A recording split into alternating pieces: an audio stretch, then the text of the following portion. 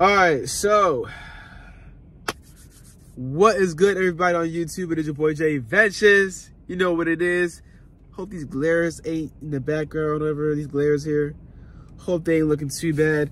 But anyways, y'all, I got a video for y'all. I got a little something, something special for y'all. This is Afghan ice cream. This is from the Kabul Fresh Grill. This was for a Uber Eats customer, but I forgot to give it to them now. I'm gonna eat it because you know I just I'm not gonna throw it away. So I'm gonna taste test it live for y'all so you guys can see the Kabul. Afghan ice cream. Let's get straight into it. I have no idea what this is, you guys. Strong smell. Okay. Intriguing. I don't have a spoon with me, but I do have a fork. So I'm gonna try to eat this with a fork if I can. So let's get into I still think I got a spoon in the back. These spoons are used in the back, so I'm not gonna use the spoons that have they're all used up and stuff. Uh, all right, but anyways, y'all, got a fork here. I'm gonna try to eat with the fork. Let's get into it. This looks like regular ice cream, you guys, but I don't know. It's like some, is that cashews or almonds in there? Like, what is that? There's some stuff in here. I don't know what this is. I'm gonna try it. All right. It's kind of seasoning stuff in there, but I don't know what it's seasoning. It's some almonds, cashew type stuff, as you see here. I wish it's more lighting, but see what this. See this, y'all? Yeah. It's like vanilla ice cream, low key.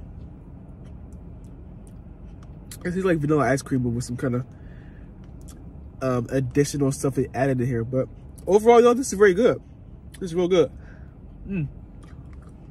Mmm. It tastes delicious. Yeah. It's really good. Cashews and like, I feel like there's like some, I don't know what it is at all actually. This is really good. Mmm.